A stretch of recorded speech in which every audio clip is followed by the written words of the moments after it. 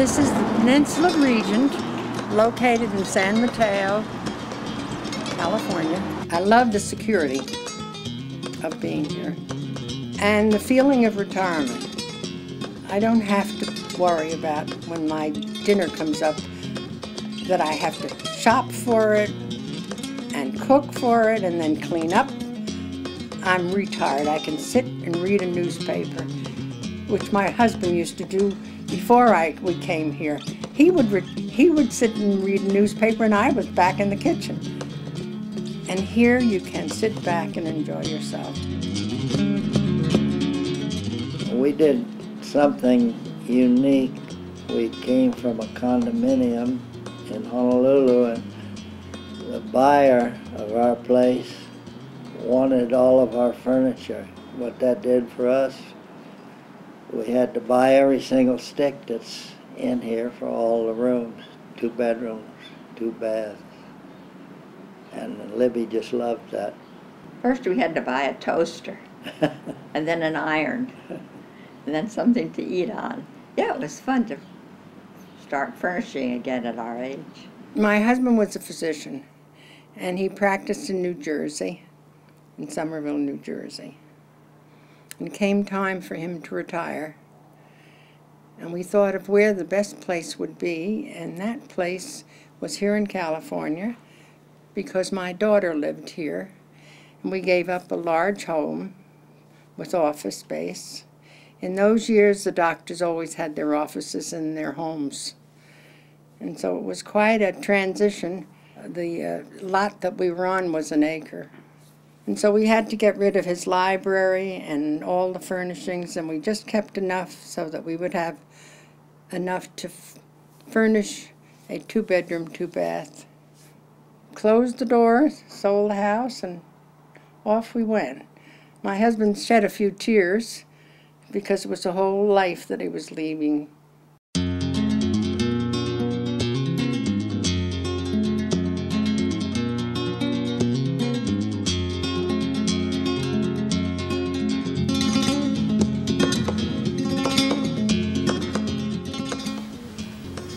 One she did shortly after we got here. I went down into the art room downstairs and painted a picture.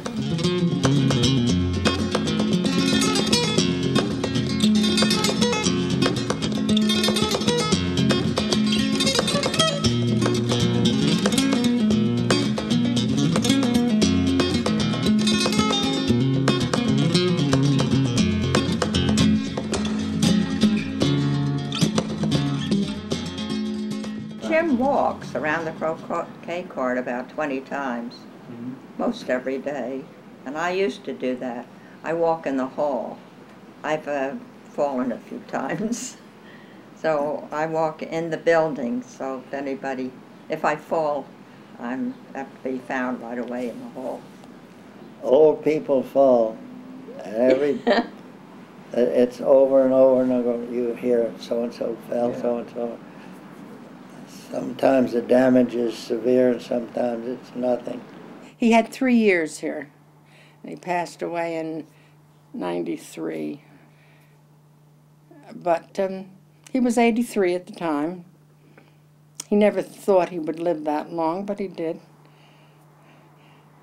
He was a great guy. And we had, in retrospect, a wonderful marriage. At this age, we're mostly women.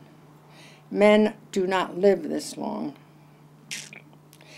unfortunately. But there was one gentleman who also lost his wife, and so we became companions. And we were together for about seven, eight years before he passed away. So uh, there was a long time that, that uh, from my husband's time to the companionship of another person living here, I didn't feel any loss of anything, any any companionship. And now I'm just busy with the women in the area. Mm-hmm. And uh, you don't find you don't you're happy to you're happy to be able to do what you can do if you're well. During my years growing, I never looked ahead thinking that I would be doing this sort of thing. And I had a mistaken thought when I did think about it. I thought I was going to live in a rural area and look out on a lot of greenery and not many houses and so on. And as we looked for a place to stay, I found that's the last thing you want to do because you.